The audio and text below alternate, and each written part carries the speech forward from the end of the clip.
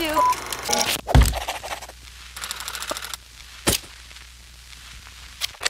This 妖啊！妖秀哦，你在生啥？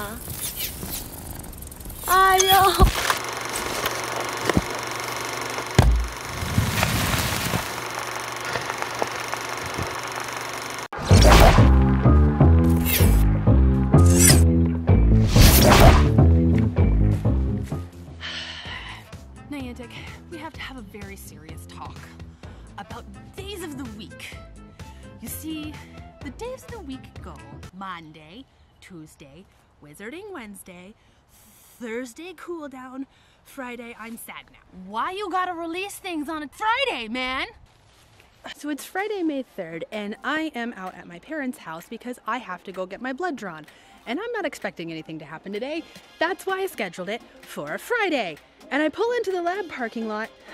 Insert clip here. Pull into my doctor's office and find out that the trailer's dropped. So now, of course, I'm on a FaceTime call with these two as they're running around getting ready to go. Okay, so before I can do anything, I still have to go get poked. But this is incentive to like really go get poked, even though I hate it. I don't want it. Two kitties playing with a golden snitch. Branding on point. What is surprising is the language that the lady is speaking in the trailer. Hashtag shout out to Daily Dobby. They used captions to find out what somebody's name was in uh, a muggle proof stamp. And I thought that was pretty smart. So I did it this time, and she's speaking Chinese. If you don't know, what you don't know is a lot.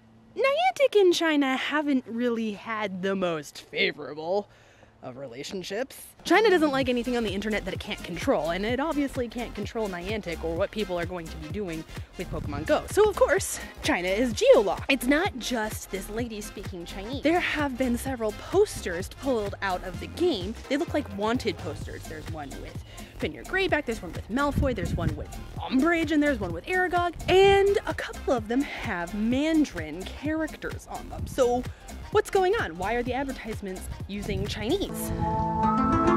I don't know. So, what is the lady saying, you may ask? Well, huh? Where did this come from? Huh?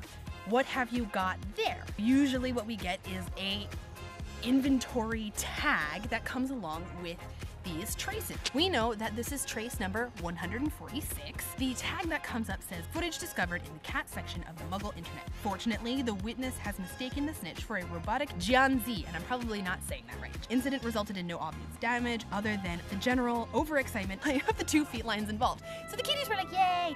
Except the white one. The little white one with the cream markings, he was just like, mm, whatever. I'll play with your tail, okay? Play with your tail. Your tail. What's the good thing? I don't know your tail. So cute. And we see the signature looks very much like Mathilda Grimblehawk again. Heyo! We like her. What is Jianzi? Well, Jianzi is kind of like a mixture between a badminton and hacky sack, where essentially you have to keep this shuttlecock with feathers on it in the air using only your body. You can't use your hands. It's a very ancient game. It's been played for centuries. There's a second thing that I think we need to pull out of this trailer, and that is what happens here. Yao Shua! Shua! Shua! Why is the snitch being like, screw this in particular, to a basketball? And I was like, wait, didn't the NBA drafts happen recently? Well, no. As you can tell, I don't muggle sports. I had to look up on the muggle internet when the muggle NBA draft was happening, and that is June 20th. So the Muggle NBA draft is June 20th, and the snitch runs into a basketball. Nothing is coincidence. So the things that you need to pull from this is that it's happening in China. The kitties are very, very cute. Mathilda, Grimble, Mathilda Grimblehawk is back. I can't say her name. And the NBA draft happens on June 20th. Apparently, snitches don't like basketballs. What does this mean? I don't know, Karen! If you like this video, make sure to hit the like button and subscribe for more so that you know when more news is breaking in the wizarding world. I love you all, always. Okay, bye!